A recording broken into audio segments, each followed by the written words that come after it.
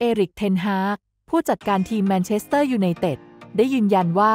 เขาไม่กังวลเกี่ยวกับเรื่องที่จะถูกปลดออกจากตำแหน่ง แม้ว่าฟอร์มของทีมจะย่ำแย่ หลังพ่ายแพ้ให้กับท็อตแนมฮอตสเปอร์ศูนย์ประตูต่อ 3 ในศึกพรีเมียร์ลีกเมื่อวันที่ 29 กันยายนที่ผ่านมาทำให้ตอนนี้ทีมมีเพียง 7 คะแนน และร่วงไปอยู่อันดับที่ 12 ของตาราง เทนฮากเผยว่า บอร์ดบริหารและเจ้าของสโมสร ยังคงเชื่อมั่นในแผนระยะยาวของทีมในการฟื้นฟู และสร้างสโมสรกลับสู่ความยิ่งใหญ่อีกครั้ง โดยทุกฝ่ายเข้าใจว่า การสร้างทีมต้องใช้เวลา และการตัดสินใจในช่วงซัมเมอร์ที่ผ่านมา เป็นการตกลงร่วมกันจากทุกฝ่าย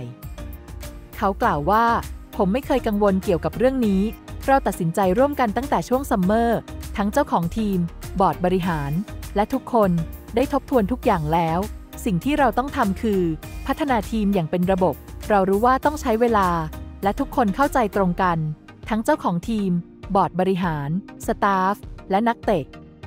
เทนฮากยังคงเชื่อมั่นในแผนงานระยะยาว และพร้อมที่จะพาทีมเดินหน้าต่อ เพื่อพัฒนาฟอร์มการเล่น